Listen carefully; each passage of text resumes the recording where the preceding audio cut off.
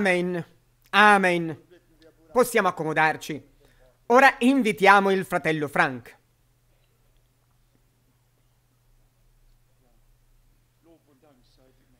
Sì, lode e ringraziamenti siano al nostro Signore per la sua meravigliosa grazia e per il privilegio che possiamo essere qui per ascoltare la sua parola. E come abbiamo appena ascoltato dalla bocca del nostro caro fratello, Dio è colui che parla. Egli trasmette la sua parola e usa labbra umane per dirci quello che egli ha da dirci, anche nel nostro tempo. Ci auguriamo che tutti si sentano a loro agio, che tutti si sentano a casa, da vicino e da lontano.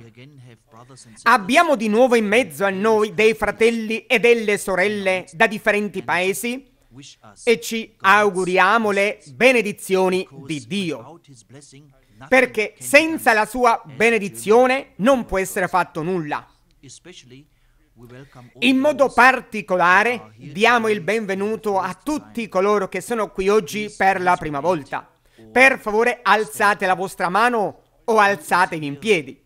Chi è qui oggi per la prima volta?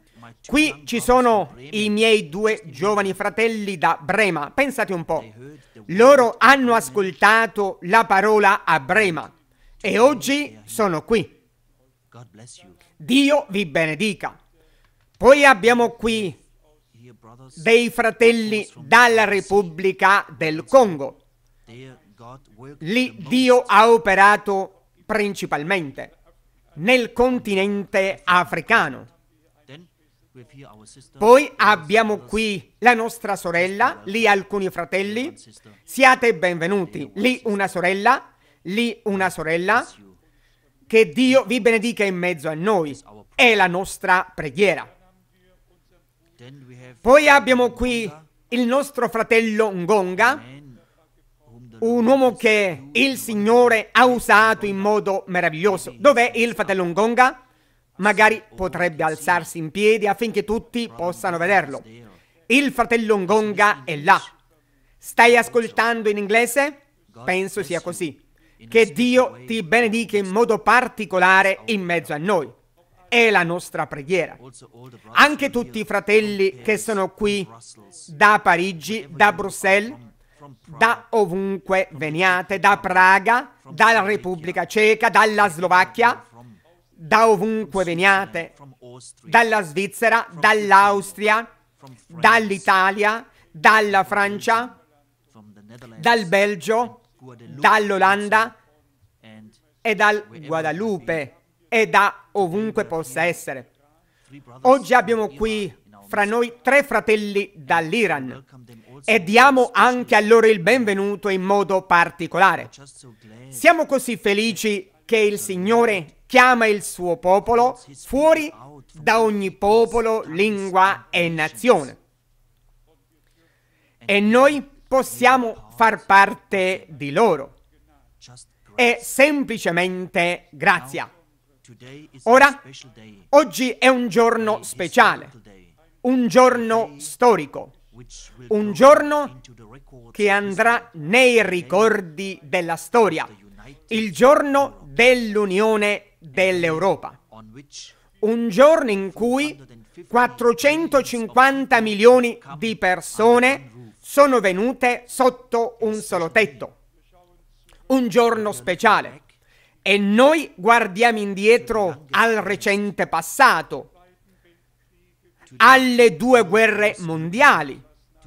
Guardiamo indietro a ciò che è accaduto dopo la seconda guerra mondiale, una divisione fra est e ovest. Ovunque venivano immagazzinate armi atomiche, le frontiere attraversavano l'Europa, attraversavano Berlino, attraversavano la Germania.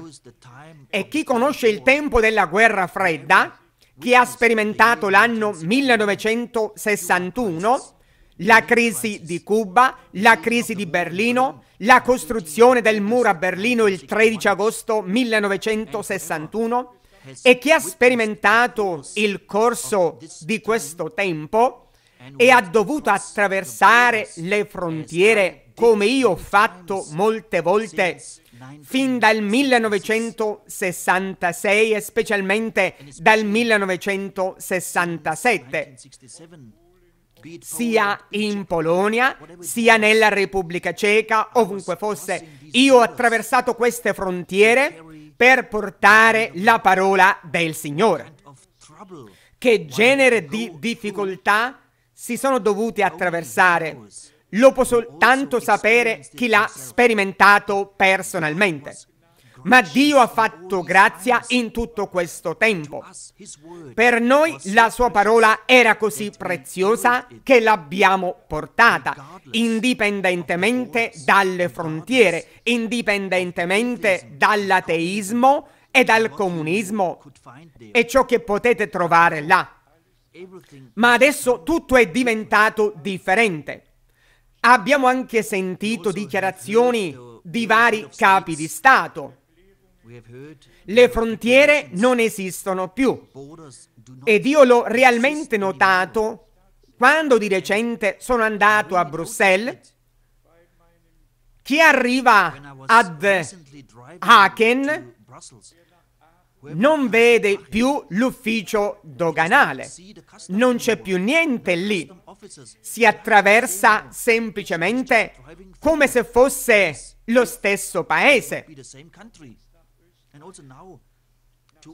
Ed anche adesso in Austria, quando siamo andati a Salisburgo, non ci sono più neanche gli edifici doganali, c'è soltanto il distributore di benzina, si attraversa semplicemente sì, non ci sono più le frontiere.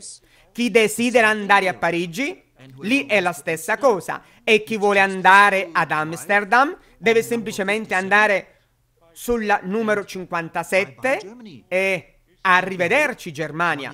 Ed ecco che si è già in Olanda. E proprio la scorsa settimana ho letto qui la parola dal profeta Isaia, capitolo 10.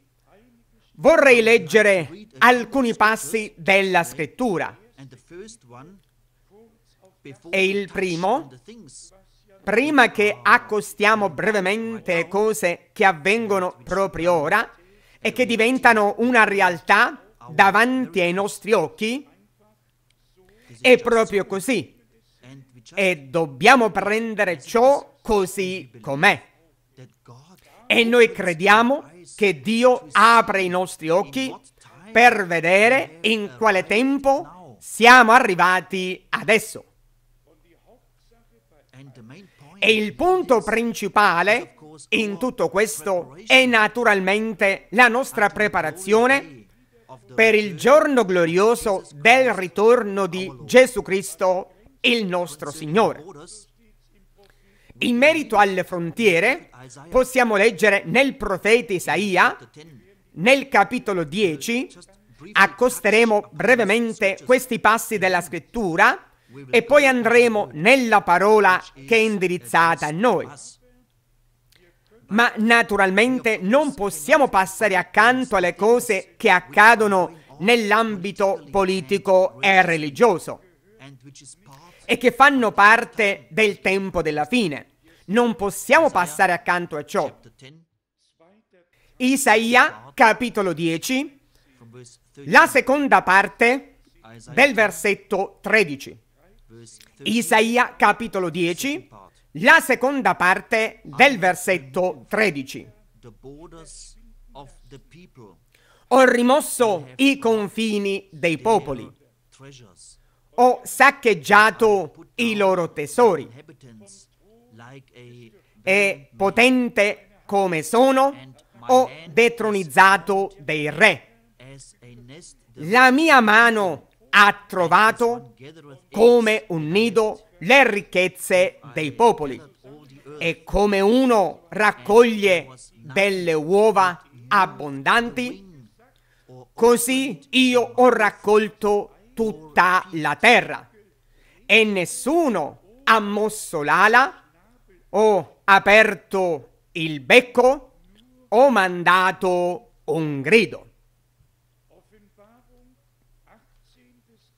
Revelation 18. Apocalisse capitolo 18. Revelation chapter 18.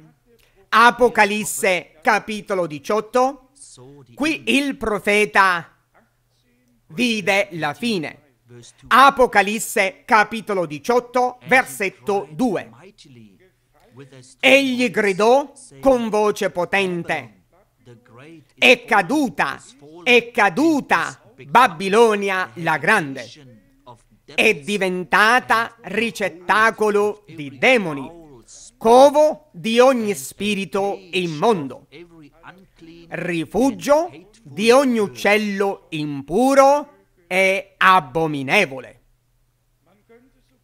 One could also read verse 3. Si potrebbe leggere anche il versetto 3. Poiché tutte le nazioni hanno bevuto del vino dell'ira della sua fornicazione. e i re della terra hanno fornicato con lei. e i mercanti della terra si sono arricchiti con la sua sfrenata lussuria. Dal profeta Geremia. Leggiamo soltanto due versetti. Geremia capitolo 50, Geremia capitolo 50, magari leggiamo soltanto un versetto e mezzo. Geremia capitolo 50, versetto 37, la seconda parte, e il versetto 38. La spada sovrastra ai suoi tesori, che saranno saccheggiati. La siccità sovrasta alle sue acque, che saranno prosciugate, poiché è un paese di immagini scolpite. Vanno in delirio per quegli spauracchi dei loro idoli. Dal capitolo 51, verse 7, nel profeta Geremia, il versetto 7. a golden cup in Babilonia era nelle mani dell'Eterno una coppa d'oro che inebriava tutta la terra.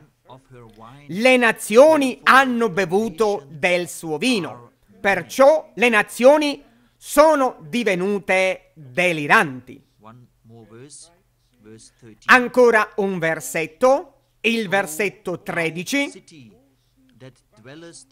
Oh, tu che abiti in riva alle grandi acque, tu che abbondi di tesori, la tua fine è giunta, il termine delle tue rapine. Revelation chapter 17 Apocalisse capitolo 17. with the purpose Leggo questi passi della scrittura per uno scopo, perché in seguito ascolteremo alcuni nuovi articoli presi da internet. Apocalisse capitolo 17, verse 1 and versetti 1 e 2. and there came one of the seven angels E uno dei sette angeli che avevano le sette coppe venne e mi parlò dicendo, vieni, io ti mostrerò il giudizio della grande meretrice che siede su molte acque e con la quale hanno fornicato i re della terra.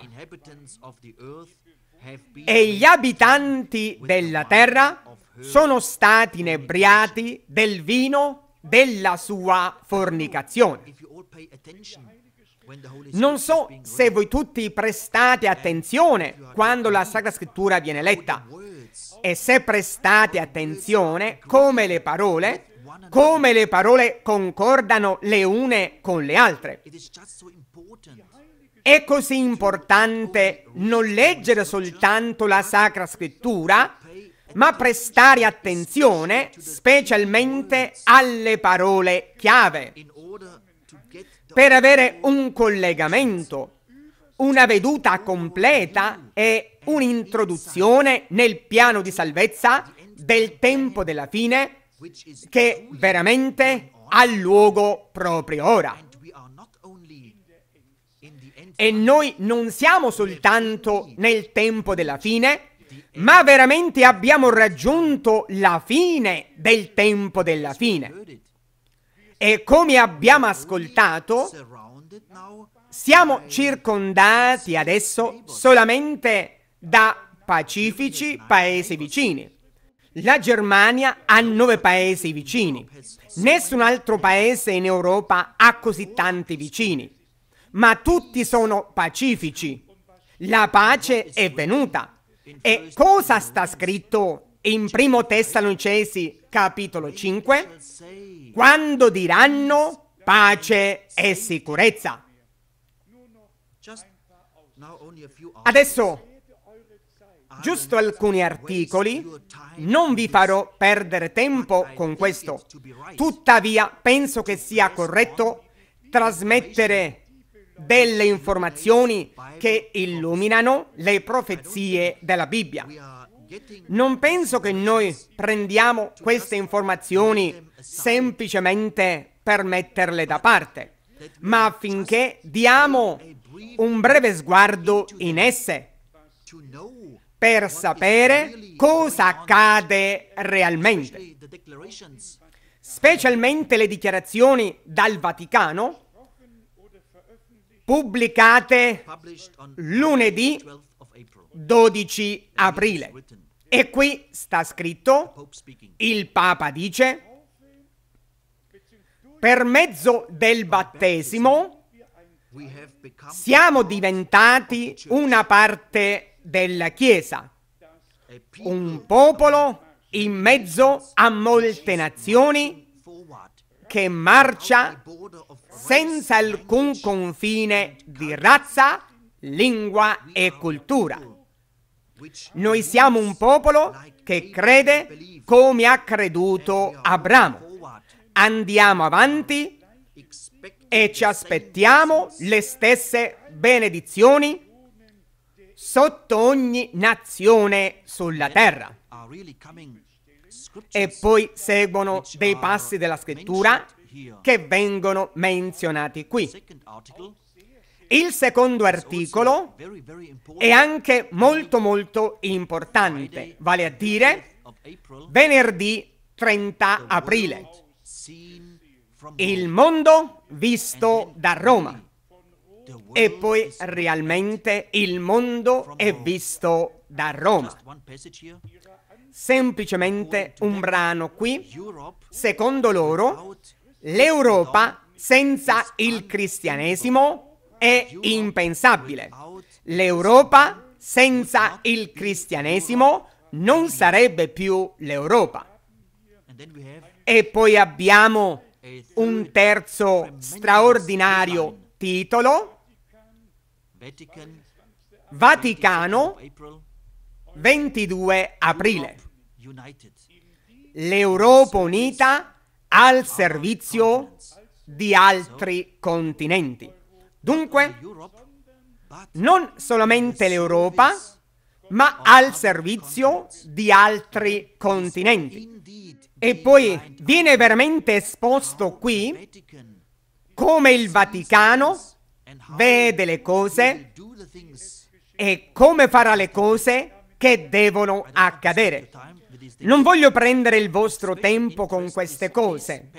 Di speciale interesse questo 29 brano qui. Giovedì 29 aprile con l'unione della Polonia.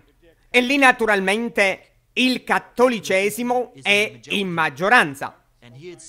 E qui sta scritto nero su bianco, 100 fino ad ora 184 milioni di cattolici 15 states sono stati nelle 15 nazioni d'Europa. Adesso nelle 25 nazioni d'Europa ci sono 239 milioni di cattolici in 89 confronto con gli 89 milioni di protestanti di allora e 94 milioni di protestanti di adesso.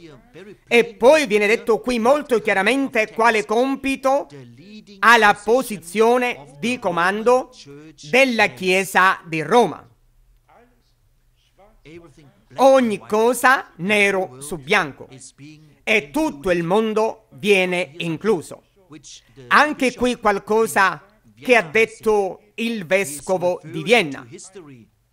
Egli si riferisce alla storia, a quello che è accaduto nella rivoluzione d'ottobre nel 1848 e a ciò che è accaduto nell'Europa dell'Est.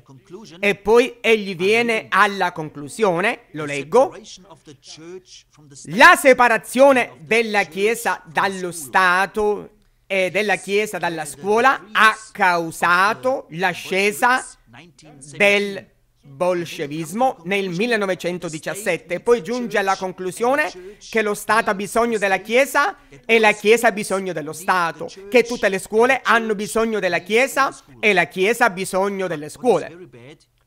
Ma ciò che è molto male è questo qui. E questo lo leggo in chiusura. Guardate questa foto qui, l'ultima edizione della famosa rivista Spiegel una delle più antiche e migliori riviste settimanali del nostro paese. La meretrice cavalca la bestia. Molto, molto chiaro. L'ultima edizione del 26 aprile 2004. Se poi si legge la descrizione qui, allora bisogna chiedersi perché i predicatori sono ancora ciechi? E la risposta è perché non prendono del collirio e non ascoltano ciò che Dio ha rivelato al suo popolo dalla sua parola attraverso il messaggio del tempo della fine. Ma continua qui, a Bruxelles, a Bruxelles c'è una donna, una donna proprio di fronte all'edificio del Parlamento.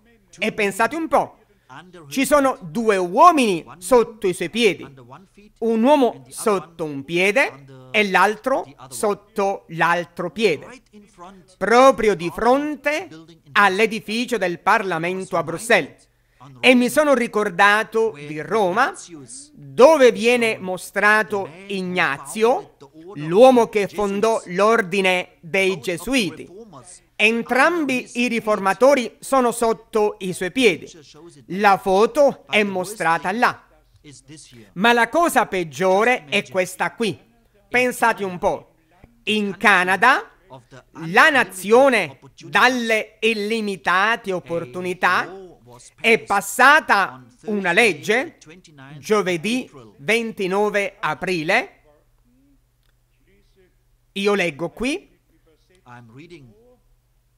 Ieri il Canada ha deciso per legge sotto il paragrafo C250 che la Bibbia è un libro che è particolarmente al di fuori della legge della nostra nazione ed è contro gli omosessuali. Si deve pensare a questo, contro gli omosessuali. Immaginate un po' cosa fanno adesso le persone. Dio ha naturalmente il diritto di giudicare sulla sua creazione e Dio disse all'inizio, non è bene che l'uomo sia solo, gli farò un aiuto convenevole. Certamente Egli non ha creato un secondo uomo, egli fece una donna e tirò fuori la donna dall'uomo e la presentò a lui. Questo è l'ordine divino. Non ha Dio il diritto di presentare il suo ordine nella sua creazione? Non ha il diritto di far valere le sue affermazioni? Vale a dire ciò che è normale? Ma affinché la scrittura possa essere adempiuta, deve realmente accadere così.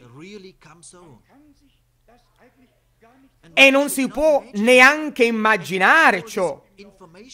E tutte queste informazioni mi sono date da altri. Certamente io non ho tempo per occuparmi di queste cose, ma è come un'epidemia.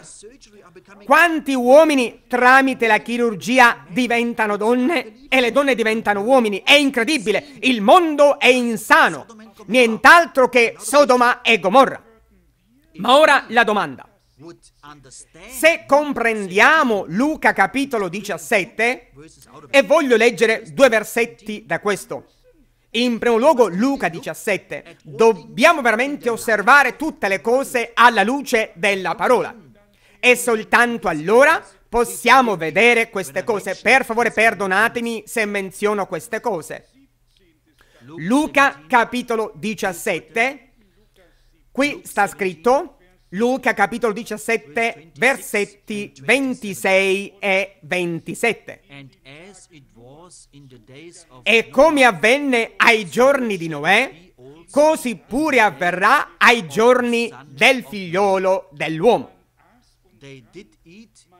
Si mangiava, si beveva, si prendeva moglie, si andava a marito, fino al giorno che Noè entrò nell'arca. E venne il diluvio che li fece tutti perire. Se si legge questo così, allora non si ha ancora il quadro completo. Con queste parole del nostro Signore si deve andare veramente in Genesi capitolo 6, because marriage perché il matrimonio è stato prima del tempo di Mosè e prima del tempo di Noè e dopo il tempo di Noè e dopo il tempo di Mosè e anche nel nostro tempo sposarsi non è una cosa nuova. Cosa è stata la cosa straordinaria nei giorni di Noè? E questo si deve leggere nella Sacra Scrittura, perché non è scritto sul giornale e neanche nella rivista Spiegel. Questo è scritto soltanto nella Sacra Scrittura. Genesi capitolo 6, Genesi capitolo 6, from verse 1 dal versetto 1. and it came to pass Ora, quando gli uomini cominciarono a moltiplicarsi sulla faccia della terra e furono loro nate delle figliole, avvenne che i figlioli di Dio videro che le figliole degli uomini erano belle e presero per mogli quelle che si scelsero fra tutte.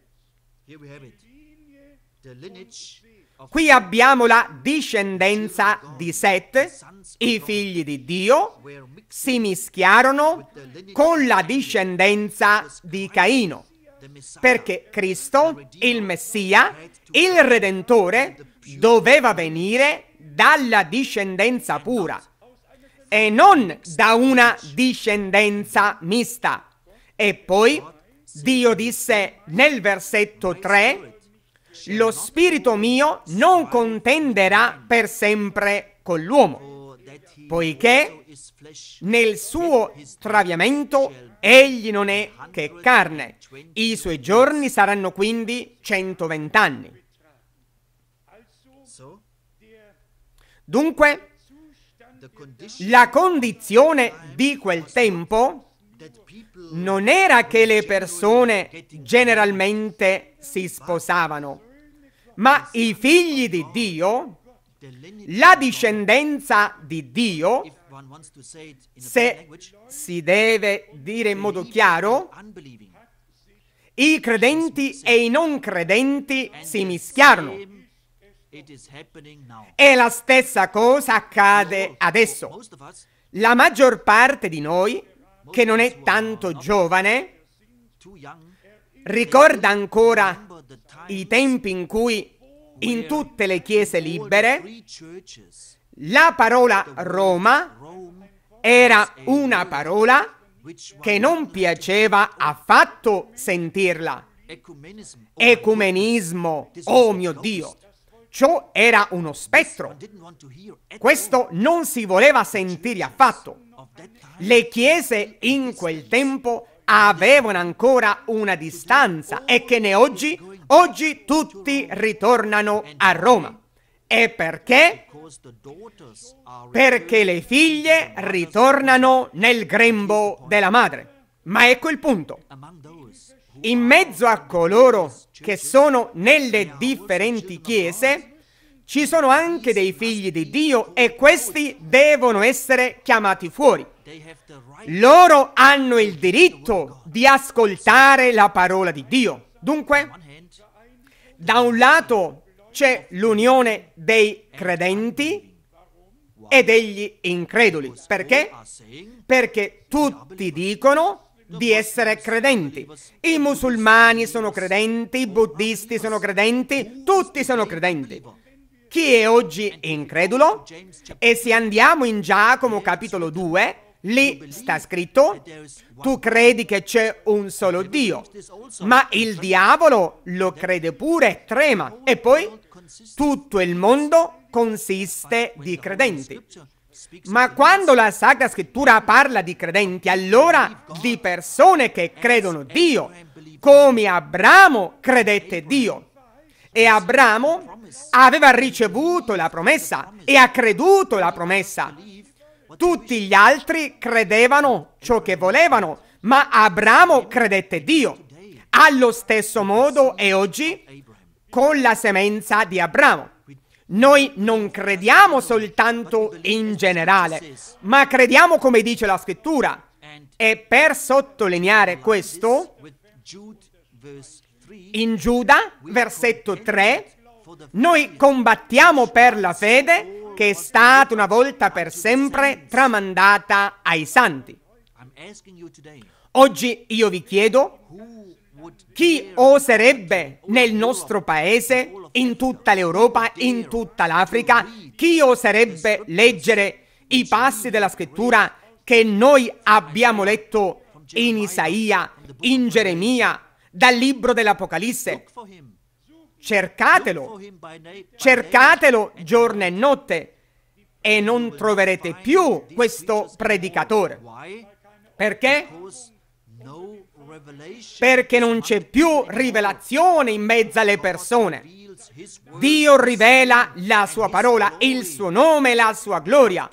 Ma a chi egli lo rivela?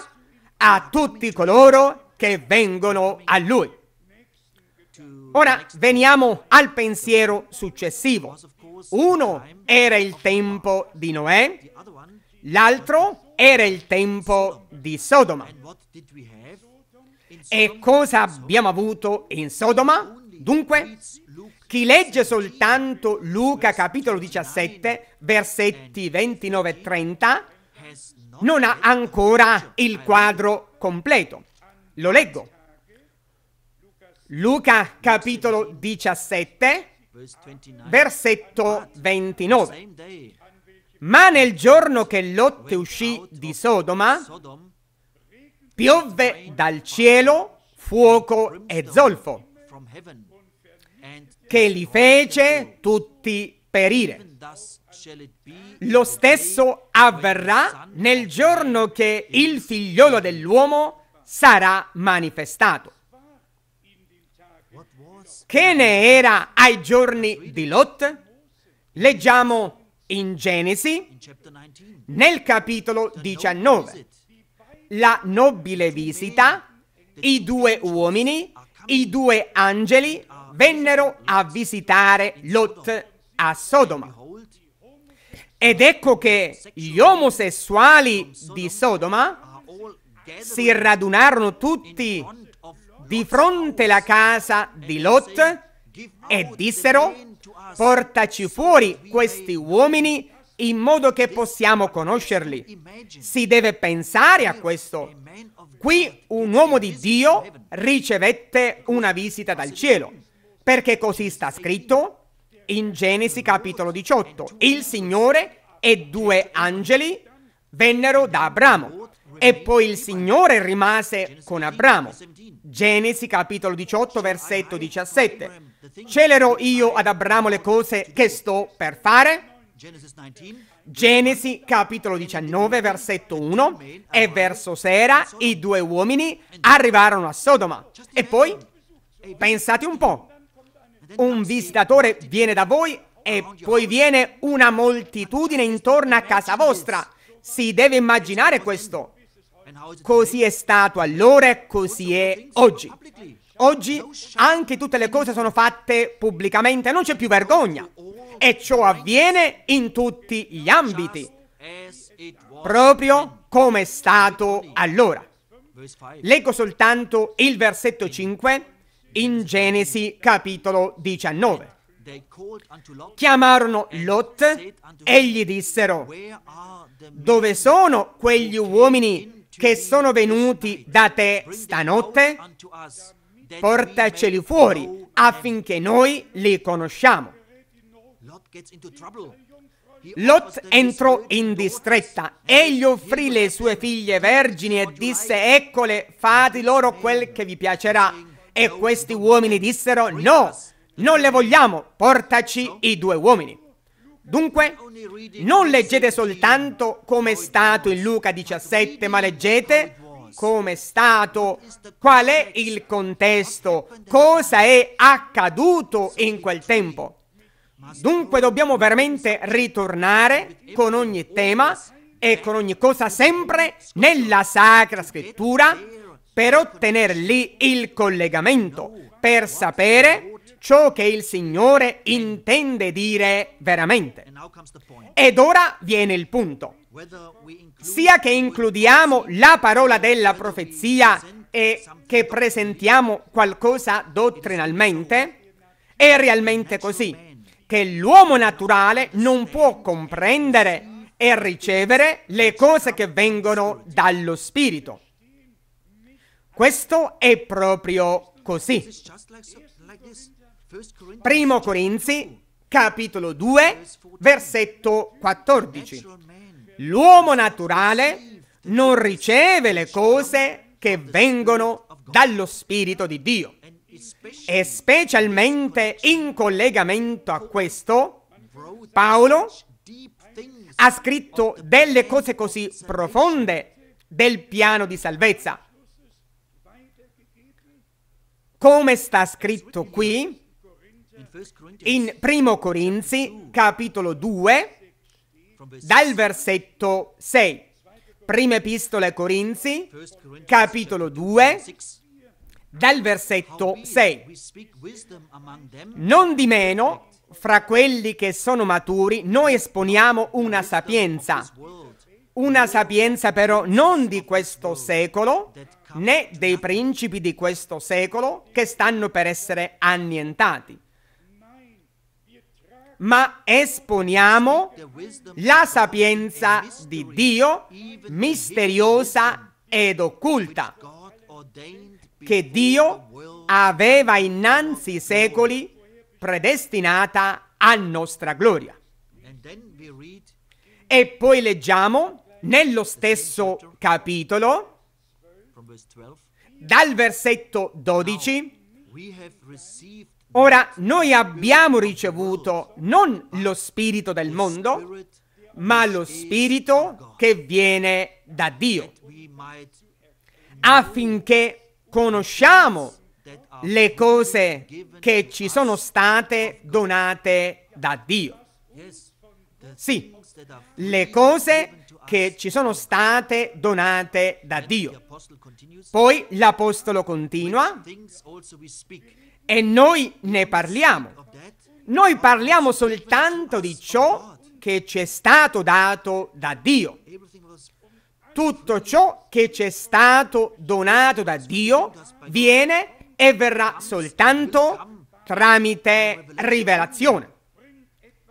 Nessuno porta qualcosa con sé e il più grande uomo di Dio non ha conoscenza al riguardo nella Sacra Scrittura non vede collegamenti a meno che gli venga rivelato dallo Spirito.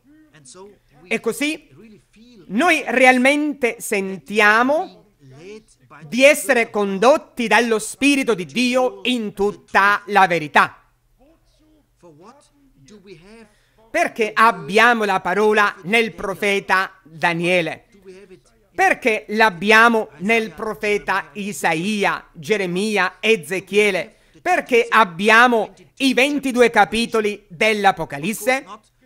Naturalmente non per continuare ad interpretare, ma affinché tutti questi simboli, tutte queste figure attraverso le quali Dio ha parlato, affinché fossero rivelati e che noi veramente vedessimo il collegamento come viene veramente inteso dire da Dio. Fratelli e sorelle, non possiamo dirlo abbastanza. Dio ci ha fatto grazia in questo nostro tempo. E ora noi dobbiamo veramente predicare tutto il consiglio di Dio. Nulla può essere tralasciato, ma a ciò appartiene anche la parte evangelistica, la parte dell'insegnamento, la parte profetica. Tutto ciò appartiene alla proclamazione della parola. Prendiamo il fatto che il nemico non ha la propria parola. Egli distorce la parola di Dio. Prende sempre quello che Dio ha detto e poi lo distorce. E perciò noi viviamo adesso in un tempo, vi do un esempio, tutte le chiese libere scrivono e affermano Forse non dovrebbe essere detto in modo così chiaro, tuttavia affermano che ognuno che confessa che Gesù Cristo è il figlio di Dio è da Dio. E al riguardo ci sono veramente due passi della scrittura, ve li leggo.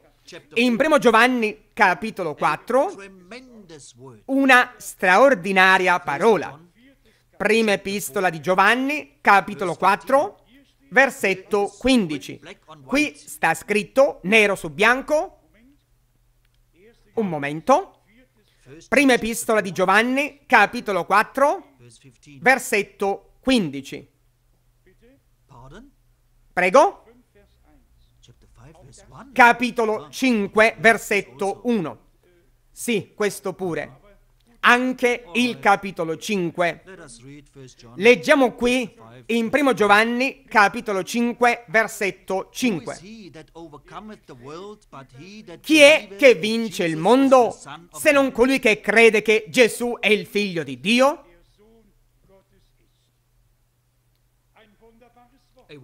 Una parola meravigliosa, anche necessaria per vincere. Chi vuole vincere deve credere che Gesù Cristo è il figlio di Dio. Ma ho un altro passo della scrittura che voglio leggere. Leggiamo dal capitolo 4. Penso che sarà pure bene. Dal versetto 1. Carissimi, non credete ad ogni spirito, ma provate gli spiriti per sapere se sono da Dio. Perché molti falsi profeti sono usciti fuori nel mondo. Da questo potete conoscere lo Spirito di Dio.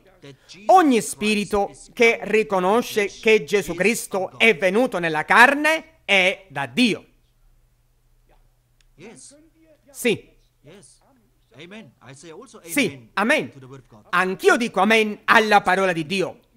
Ma ora viene il nemico e prende questa parola e voi potete andare oggi da una chiesa all'altra, da una denominazione all'altra, dai luterani ai calvinisti, agli anglicani, ai presbiteriani, fino alla chiesa di Roma. E tutti dicono, noi crediamo che Gesù Cristo è il figlio di Dio. E che ne è adesso? Che ne è adesso? tutti lo dicono.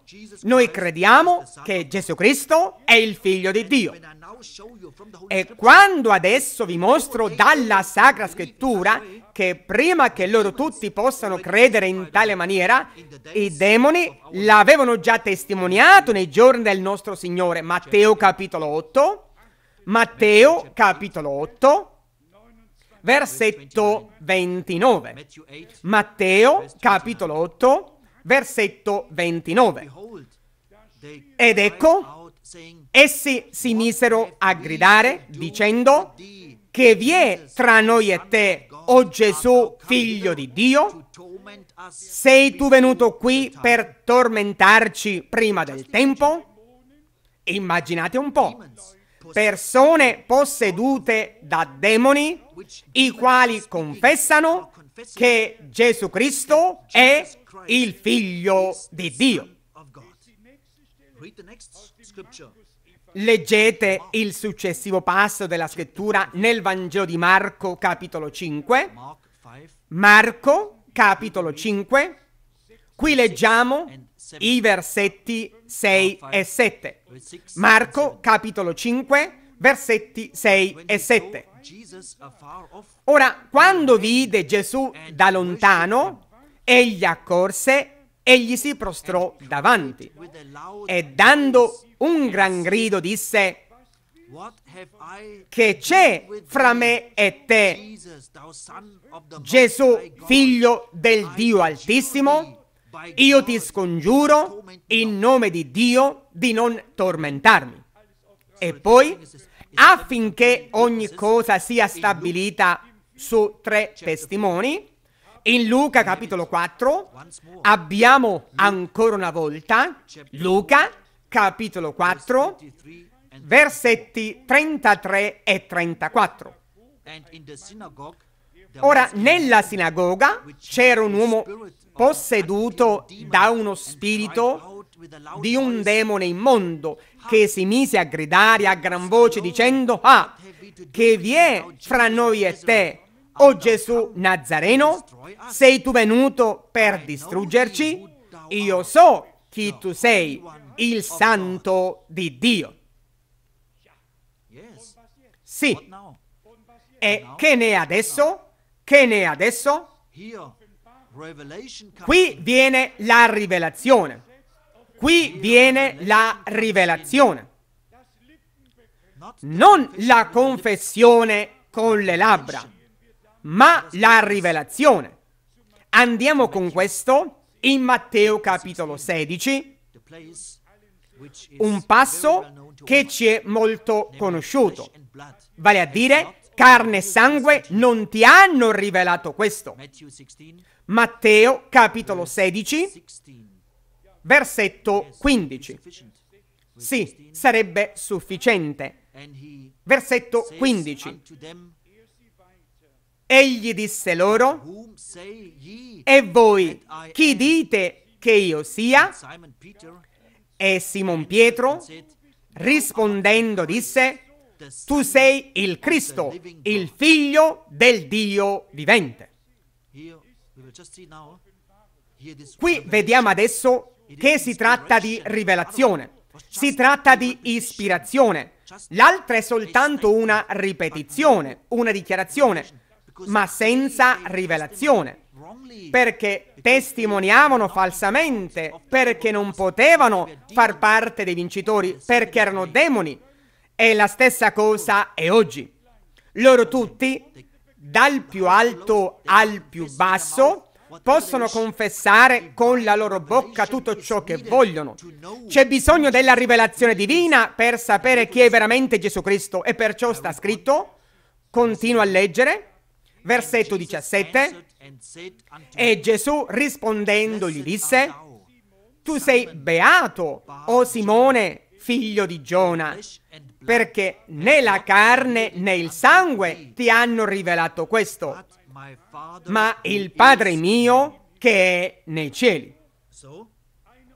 Dunque, una rivelazione che discese dal cielo, che venne da Dio in merito a chi è realmente Gesù Cristo.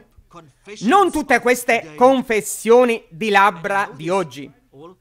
Ed io so questo perché ho parlato con i più alti ranghi in merito a Cristo, in merito al tempo della fine, in merito a certe altre cose. E questi mi hanno detto, fratello Frank, questo non è corretto perché tutti confessano che Gesù Cristo è il figlio di Dio. Lo dico ancora una volta. Una simile confessione, in primo luogo, non potrebbe essere corretta perché tutta la cristianità crede in un figlio di Dio che è nato dal Padre nell'eternità.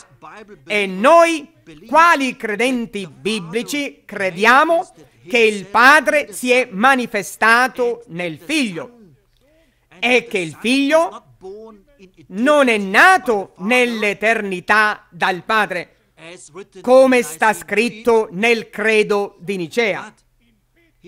Ma egli è nato a Betlemme, come sta scritto in Michea capitolo 5 e come è stato confermato nel Nuovo Testamento in Matteo capitolo 1 e in Luca capitolo 1. Dunque, una confessione di labbra non dice nulla.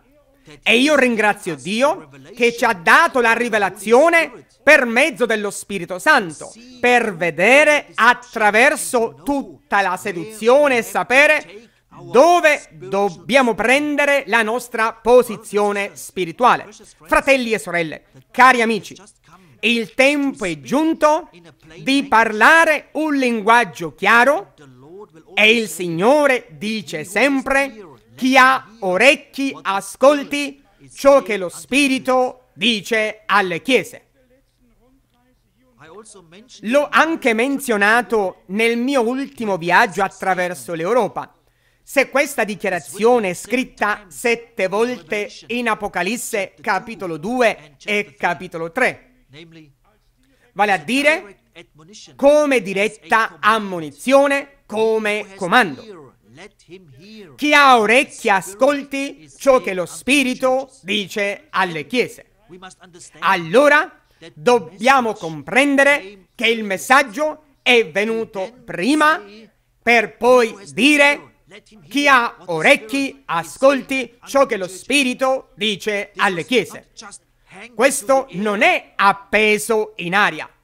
In primo luogo sta scritto all'angelo della Chiesa scrivi e poi viene ciò che Dio ha da dire attraverso l'angelo alla Chiesa e soltanto dopo viene chi ha orecchie ascolti ciò che lo Spirito dice alle Chiese. È così. Quando delle persone dall'Africa dicono Amen alla parola, che ne è di noi? Che ne è di noi? Fratelli e sorelle, Dio ha visitato il suo popolo per grazia. Egli ci ha rivelato la sua parola, il suo nome e i suoi misteri.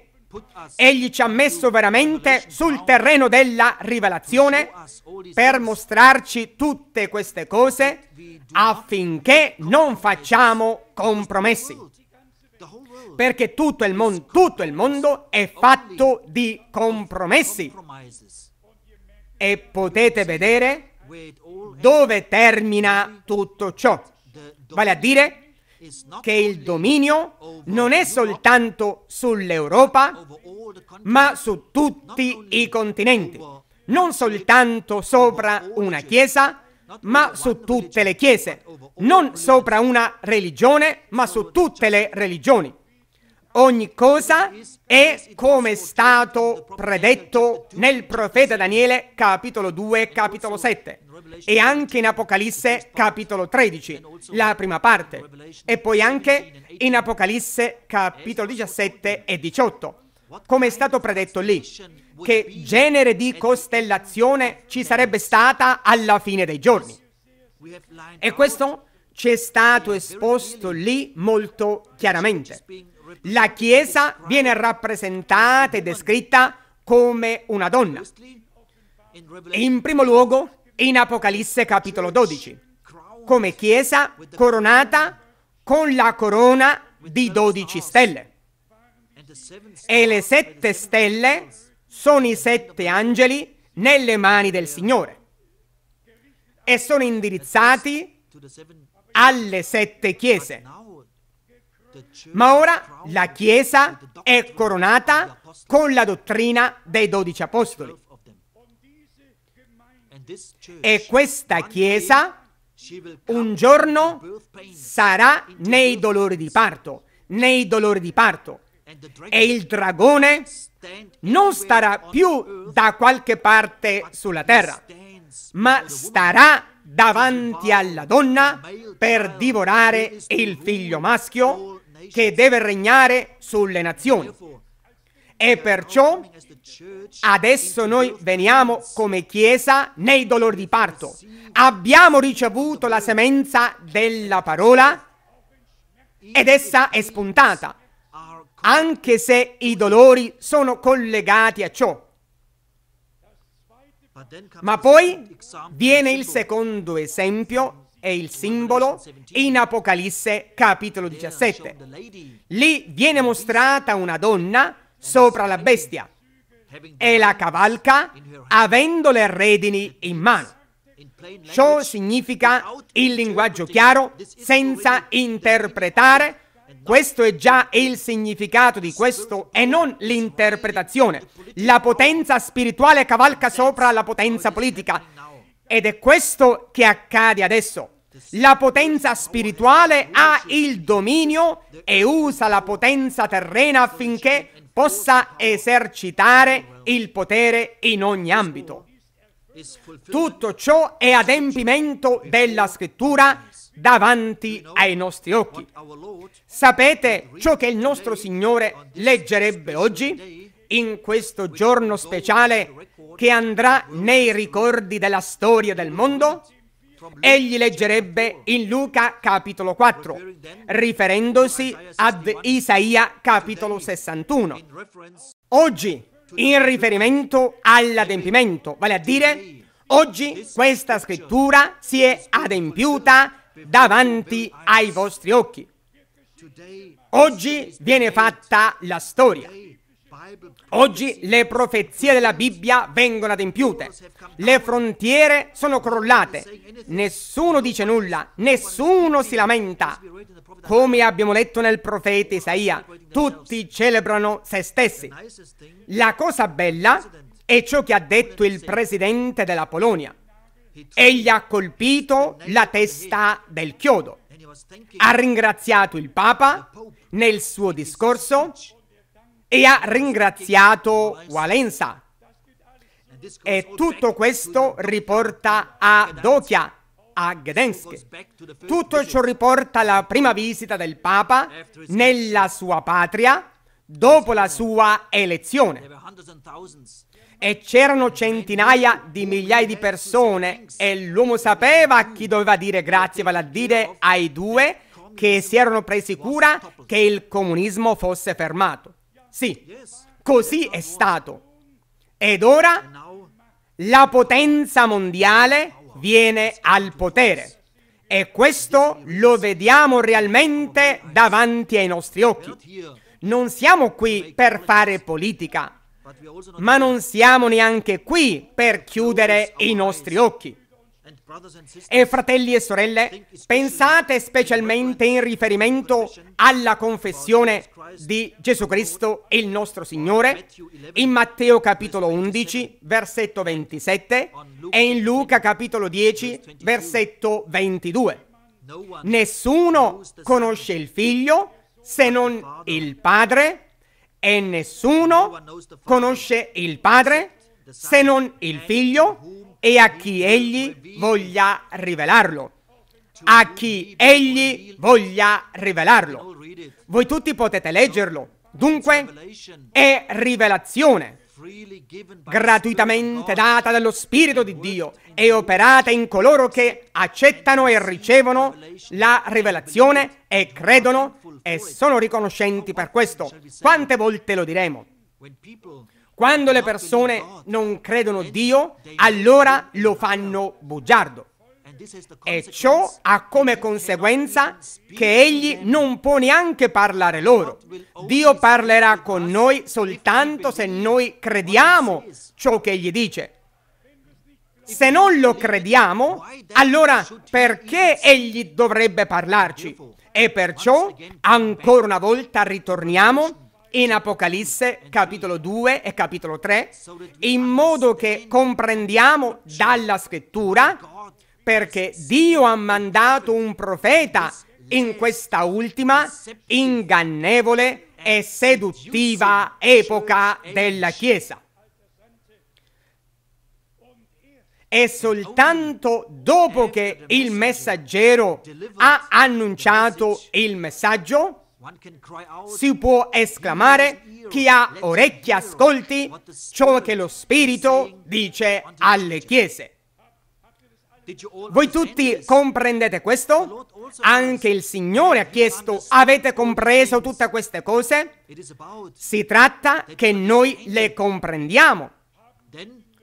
Poi abbiamo dei problemi dentro il messaggio, perché le cose che il Signore ha rivelato sono state di nuovo interpretate in modo errato con la mente. Penso qui adesso all'ultima interpretazione di Apocalisse capitolo 10 in merito ai sette tuoni. Lì realmente è venuto un uomo dal Sudafrica dicendo oggi voglio dirvi di cosa si tratta in Apocalisse 10 e in merito al leone che rugge e in merito ai sette tuoni. E poi egli ha detto, voi non avete mai udito un leone quando rugge. E ha detto, io l'ho sentito molte volte. E poi ha esposto ciò dicendo, quando un leone rugge, allora anche i cammelli e gli elefanti rimangono tranquilli e tutti tremano. E poi ha detto, ma la leonessa è molto tranquilla alla presenza del leone. Lei non trema affatto. E poi è arrivato alla conclusione che i sette tuoni sono qui e che il leone rugge, ma la sposa siede tranquilla accanto a lui e non trema affatto. Si può cercare di dialogare con qualcuno con simili storie, ma non vogliamo fare simili cose, niente affatto. Noi desideriamo che la parola di Dio sia lasciata in santità e che rimanga laddove è scritta. Non ho bisogno di nessuno che mi interpreti la parola di Dio. Questi tempi sono passati per sempre. E per favore permettetemi di sottolineare di nuovo la parola significato, perché da ora in poi, quando leggerò i Vangeli, probabilmente non vi leggerò più. A voi è dato di ascoltare l'interpretazione. Probabilmente da ora in poi ve lo leggerò diversamente, vale a dire a voi è dato di comprendere il vero significato della parola perché l'interpretazione può significare molte cose, ma il vero significato può significare soltanto una cosa. Anche i traduttori della Bibbia hanno avuto difficoltà per sapere di cosa si trattasse realmente. Riassumiamo di cosa si tratta oggi. Si tratta della chiamata fuori, della separazione della Chiesa di Gesù Cristo, perché alla fine ci sono due unioni, una sotto Roma e l'altra sotto Gesù Cristo, il capo della Chiesa. E come il nostro Signore ha detto in Giovanni capitolo 17, Padre, tu in me e io in loro affinché siano uno. Non tutte le culture, non tutte le religioni, ma nati di nuovo per mezzo dello Spirito Santo e battezzati con lo Spirito Santo nel corpo di Cristo, affinché Cristo possa essere il capo e che noi possiamo essere le sue membra. Credetemi, tutte queste preziose rivelazioni della parola di Dio, Dio ce le dà gratuitamente affinché possiamo essere certi sulla via in cui Dio ci guida, in modo che nessuno possa vacillare e che qualcuno possa venire e dire, oh, tutti credono che Gesù Cristo è il figlio di Dio. Da ora in poi noi sappiamo che deve essere rivelazione per mezzo dello Spirito Santo. E questa rivelazione la ricevono soltanto coloro che sono alla presenza del Signore. Carne e sangue non ti hanno rivelato questo, ma il Padre mio che è nei cieli. Anche la correzione. Forse qualcuno potrebbe dire, è veramente così importante? Sì, una è la verità e l'altra è la seduzione. E nel principio era la parola. Nel principio era la parola, non l'interpretazione. E la parola si è fatta carne. In nessuna parte della Bibbia sta scritto che Dio come padre ha parlato con il figlio nel cielo chiedendogli gentilmente, caro figlio, scendi adesso sulla terra e riscattami il mio popolo. Una simile conversazione realmente non esiste nella Bibbia. Nella Bibbia c'è l'annuncio, una vergine concepirà e partorirà un figlio e lo chiamerà Emanuele.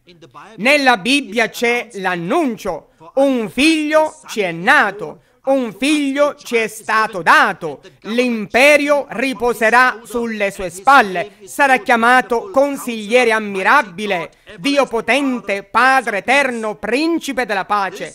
Questa è la Sacra Scrittura e questo noi crediamo. Questa è la testimonianza in merito al figlio di Dio. Leggere soltanto in 1 Giovanni capitolo 4 o 5 chi confessa che Gesù Cristo è il figlio di Dio non è sufficiente. Dovete andare nel Salmo 2 versetto 7. Tu sei il mio figliolo, oggi io ti ho generato. Dobbiamo andare in tutti i passi della scrittura per sapere cosa include la vera testimonianza.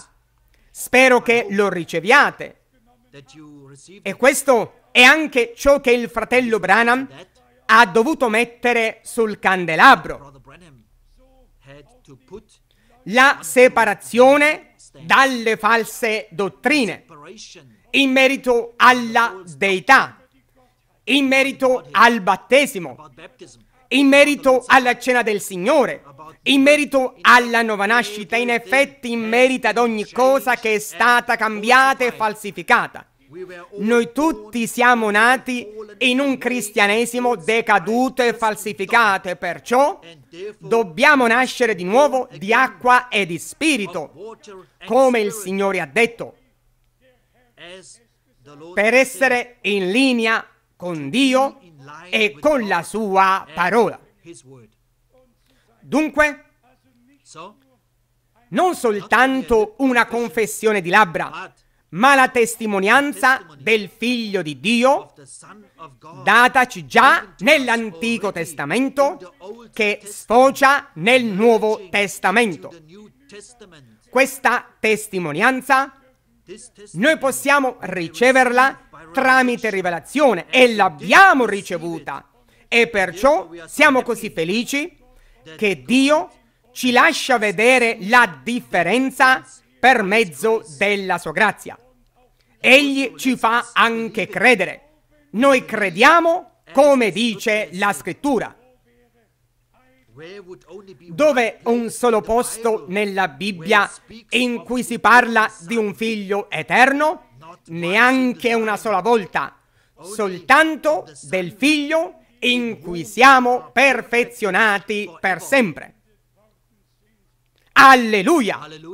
Oh fratelli Oh, e sorelle, sisters, la parola di Dio deve diventare così importante per noi, anche nelle piccole cose. Deve diventare importante per noi affinché la riceviamo e che la meditiamo nel nostro cuore, poi ci sarà rivelata così come la crediamo. Dunque, l'ha chiamata fuori. Uscite di mezzo a loro, non toccate nulla di mondo, separatevi. Allora io sarò il vostro Dio e voi sarete il mio popolo. Non qualche genere di politica con dei compromessi sotto un tetto politico e religioso, ma sotto Gesù Cristo, il capo della Chiesa. Una Chiesa riscattata col sangue, lavata nel sangue dell'agnello, la Chiesa dei primogeniti che adesso ascolta ciò che lo Spirito dice alle Chiese, che si separa e crede come dice la Scrittura, per sperimentare così la preparazione e il compimento. Non ci deve essere più nessuna interpretazione, neanche nel messaggio. A cosa servirebbe se fossimo usciti da tutte le altre interpretazioni e cadessimo poi di nuovo in nuove interpretazioni? Avrebbe allora Dio lavorato con noi in vano? No, non si può ripetere ciò. Che i chiamati fuori da tutte le interpretazioni siano condotti di nuovo in nuove interpretazioni, ma invece nel vero significato della parola di Dio che ci è stata rivelata per grazia. E poi riconosciamo veramente, quando guardiamo simili foto e poi leggiamo il libro dell'Apocalisse, allora non abbiamo più bisogno di nessuno che ci dia ancora l'interpretazione al riguardo, anche in merito ai sette colli sui quali la donna siede. Ciò è anche descritto, ogni cosa è in questo libro. Lode, onore e gloria siano al nostro Dio che ha visitato per grazia il suo popolo che ha dato luce al tempo della sera, prima che la mezzanotte irrompa. E noi camminiamo in questa luce e vediamo la sua luce in questa luce. E camminiamo veramente di rivelazione in rivelazione e di chiarezza in chiarezza perché lo Spirito di Dio ci guida in tutta la verità. Spero che tutti vedano qualcosa di intero in tutte queste cose spezzettate e che vi siano rese chiare dallo Spirito di Dio non soltanto un tempo in cui una buona atmosfera sia creata, non un tempo in cui qualche passo della scrittura venga letto e qualcosa venga detto al riguardo, ma una completa inclusione dell'Antico e del Nuovo Testamento, dei profeti, dei Vangeli, delle epistole e poi il libro dell'Apocalisse per essere poi condotti dallo Spirito Santo in tutta la verità. Popolo di Dio, rallegrati perché abbiamo trovato grazia al cospetto di Dio. Dio ha visitato per grazia il suo popolo. Egli ci ha rivelato la sua parola e la sua volontà. E la cosa più bella è che nessun fratello ha bisogno di insegnare l'altro dicendo vedi come seria la faccenda? No, no, no. Da ora in poi, dopo ogni riunione, noi possiamo andare nelle nostre case.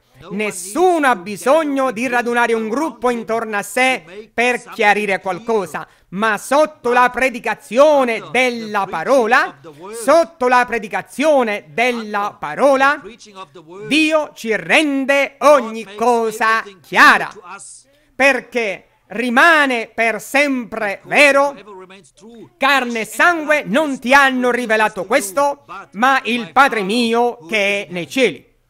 Ogni cosa è rivelazione di Gesù Cristo, il nostro Signore. Dio sia ringraziato che possiamo vedere e leggere la mano che scrive sulla parete, che possiamo comprendere il significato di ciò. Dio sia ringraziato per tutto ciò che Egli ci ha dato gratuitamente. E tutto ciò che ancora manca, Egli ce lo darà per grazia. Siate certi di questo. Siate certi di questo, che Dio completerà la sua opera di redenzione nella settima epoca della Chiesa. Come egli ha portato a compimento la sua opera di creazione il settimo giorno e poi si è riposato, così Dio completa adesso la sua opera. E noi viviamo nel compimento. E ringraziamo Dio che possiamo avere parte in quello che egli fa proprio ora. Dio sia ringraziato per la potenza del suo sangue, per la potenza della sua parola, per la potenza del suo spirito. Ricevetelo, accettatelo e Dio veglierà su ciò e l'adempirà in ciascuno di noi. A lui, il Dio Onnipotente, sia la lode, l'onore e la gloria, ora e per sempre. Alleluia. Amen. Amen. Amen.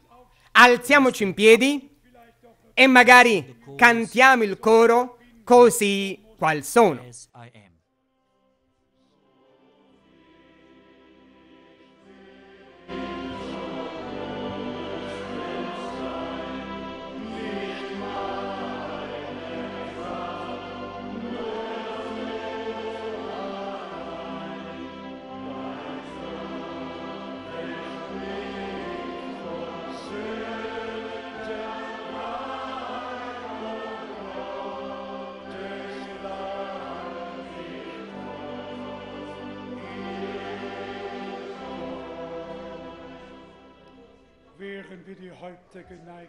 Mentre chiniamo i nostri capi, mentre rimaniamo silenziosi in preghiera, permettetemi di chiedere se qualcuno è qui a cui la parola ha parlato e che ha riconosciuto che la porta della grazia sarà chiusa e che il ritorno del Signore è vicino.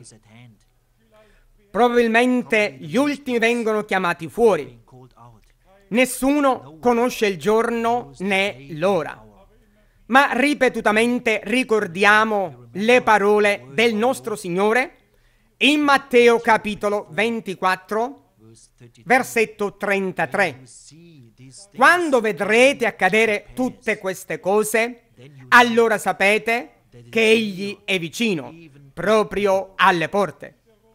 E ancora in Luca capitolo 21, dal versetto 29, e lì sta anche scritto, quando vedrete accadere tutte queste cose, alzate i vostri capi, perché sapete che la vostra redenzione è vicina. E lì sta anche scritto, il cielo e la terra passeranno, ma le mie parole non passeranno. E lì sta anche scritto, pregate affinché riceviate forza per scampare a tutte queste cose che verranno sulla faccia della terra e di comparire davanti al figlio dell'uomo. Fratelli e sorelle, cari amici, abbiamo ascoltato come è stato nei giorni di Noè. Il miscuglio è qui.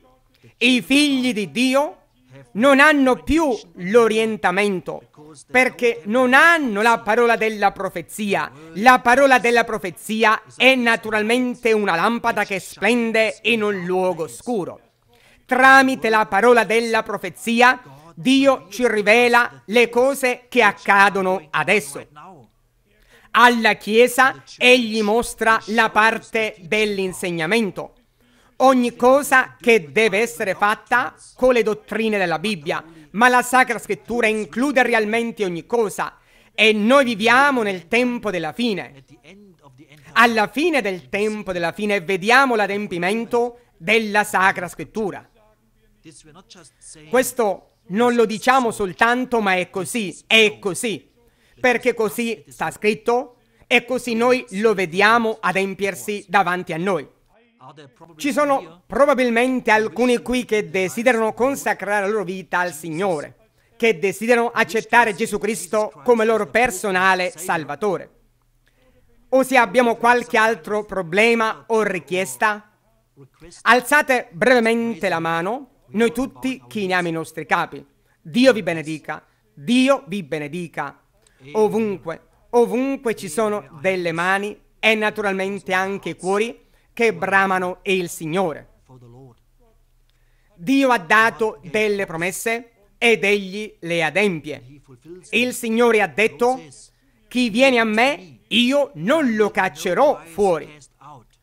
Egli ha dato riposo all'anima, il perdono, la grazia e la salvezza. Ogni cosa è in Gesù Cristo. Credete in Lui, il Figlio di Dio che è morto sulla croce del Calvario. Credete in Lui che ha sanguinato a morte per noi, in colui che ha pagato il prezzo, che ha sparso il suo sangue e che ha dato la sua vita affinché noi fossimo lavati nel suo sangue e ricevessimo la vita eterna. Cantiamo ancora una volta così qual sono e poi pregheremo.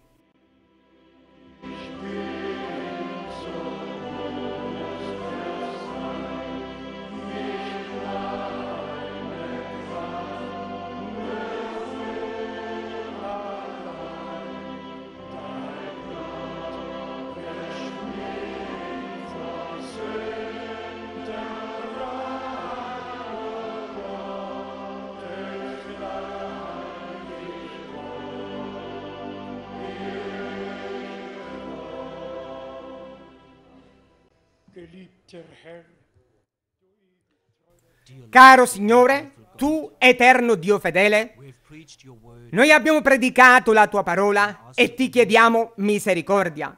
Regna col tuo spirito su tutta l'assemblea.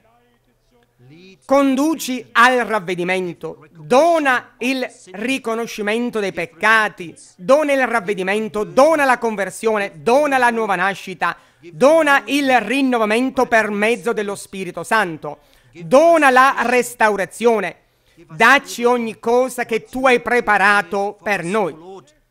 Oh Signore, regna col tuo spirito adesso. Oh Signore, regna adesso in modo meraviglioso. Opera in tutti, che siano salvati, che siano liberati, che siano guariti. Alleluia, alleluia. Opera in tutti coloro che hanno ricevuto e accettato la rivelazione. Oh Signore, ti ringraziamo. Ti ringraziamo. Alleluia. Alleluia. Oh Dio. Oh Dio. Oh Dio. Alleluia. Alleluia. Alleluia. Alleluia. Alleluia. Alleluia. Alleluia.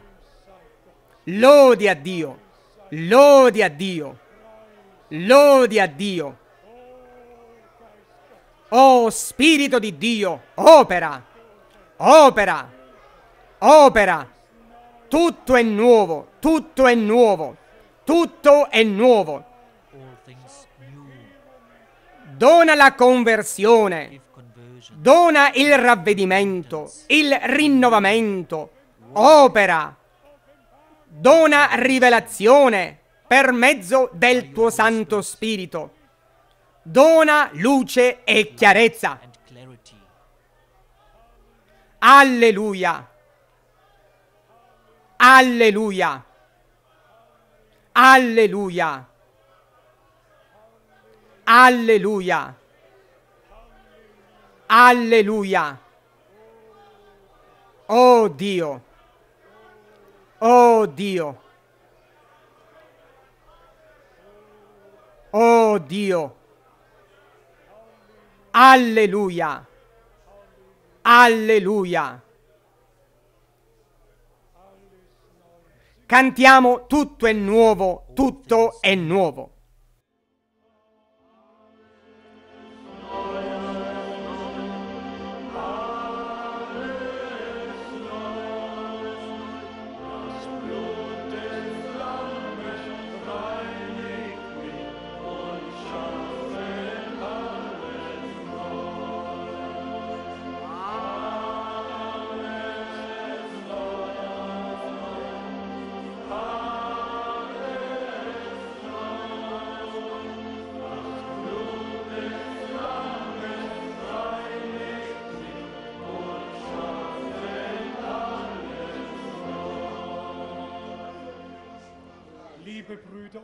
Cari fratelli e sorelle, sta veramente scritto in 1 Giovanni capitolo 3, versetto 3, whoever has chi ha questa speranza in lui si purifica come egli è puro. E sta anche scritto in Giovanni capitolo 15, ogni tralcio che porta frutto, egli lo monda affinché possa portare ancora più frutto e che il nostro frutto rimanga. Chi desidera sinceramente che il vero ravvedimento, che la vera conversione, che il vero rinnovamento, che la vera nuova nascita, la vera nuova vita venga in noi, che possa utilizzare questi momenti adesso e credere. Perché il Signore tratta con noi nel momento in cui ascoltiamo la sua parola e la crediamo. E poi Egli dice, ti sia fatto secondo la tua fede. E noi crediamo adesso, noi crediamo adesso. E lo Spirito di Dio opera adesso. Alleluia! Alleluia! Cantiamo ancora, oh è Gesù, oh è Gesù.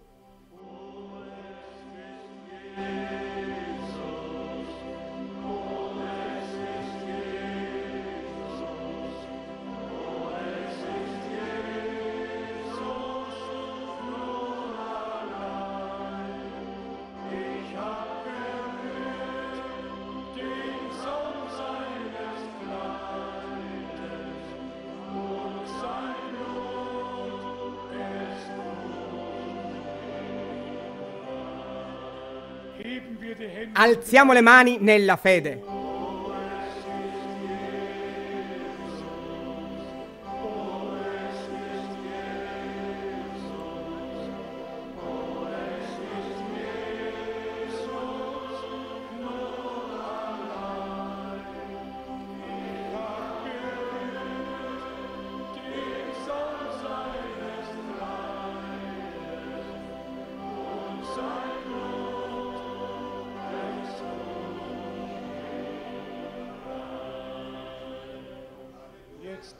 E ora cantiamo, questo è il giorno.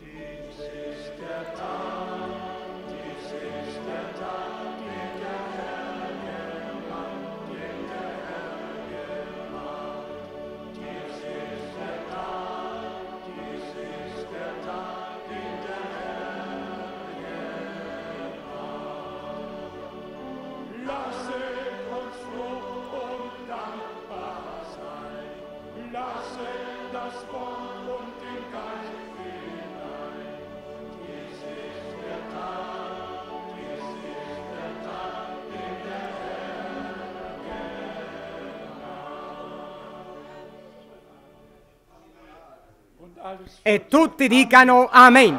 Amen. Amen.